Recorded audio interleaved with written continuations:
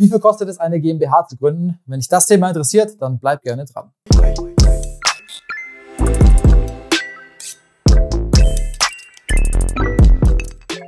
Hi, ich bin Daniel von Ride. Wir sind jetzt im Jahresendspurt. Ja, Q4 hat vor kurzem angefangen. Viele beschäftigen sich jetzt wieder mit Finanzen, mit dem Finanzmarkt und natürlich auch mit der Vorbereitung auf Q1, auf den Neustart ins neue Jahr.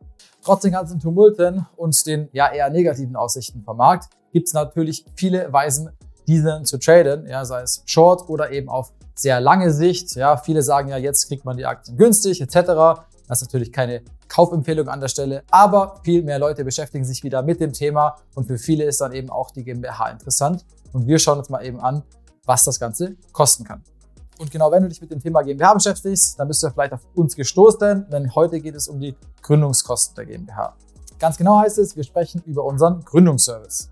Der ist nämlich darauf ausgerichtet, dass du möglichst wenig Aufwand bei der Gründung deiner GmbH hast. Wir übernehmen also die ganze Bürokratie, die wir übernehmen können. Das kostet natürlich ein bisschen mehr, als wenn man es selber macht, was auch jeder machen könnte.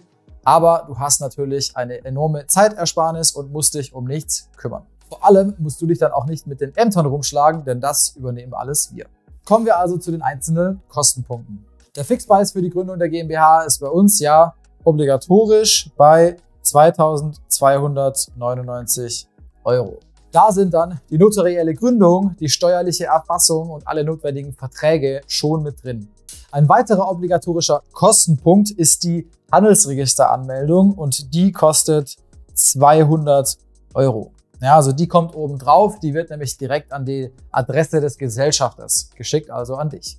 Dazu kommt dann noch die Gewerbeanmeldung, die zwischen 10 und 30 Euro je nach Gemeinde liegen kann. Manche Gemeinden wollen auch gar keine Gewerbeanmeldung, wenn du keine operativen Tätigkeiten hast. Das kommt also ganz auf deinen Standort an. Darüber hinaus gibt es noch zwei optionale Kostenpunkte, die nur bei Bedarf zu zahlen sind.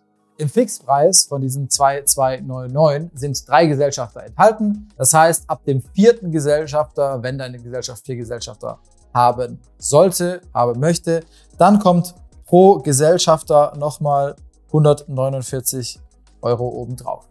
Also pro zusätzlichen Gesellschafter 149 extra. Ja, wenn nochmal fünf dazukommen sollten, aus welchem Grund auch immer, dann 5 mal 149. Der zweite Punkt ist die Strukturierung deiner Gesellschaft als atypisch stille Beteiligung. Das kostet bei uns 600 Euro nochmal obendrauf. Das sagt jetzt vielleicht nicht so viel. Im Endeffekt ist eine Sonderkonstruktion, mit der man die GmbH noch bei einem bestimmten Gewerbesteuerbeibetrag profitieren lassen kann. Wenn du dazu mehr wissen möchtest, dann haben wir natürlich auch wieder unten ein Video dazu verlinkt. Haben wir natürlich auch schon eins drüber gemacht. Okay, fassen wir also mal zusammen.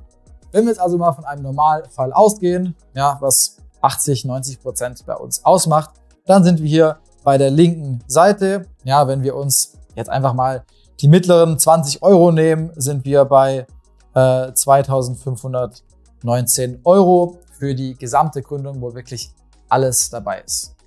Und denk natürlich dran, dass diese Kosten auch direkt von der Gesellschaft, also vom Stammkapital, bezahlt werden können. Du kannst sie also direkt steuerlich geltend machen.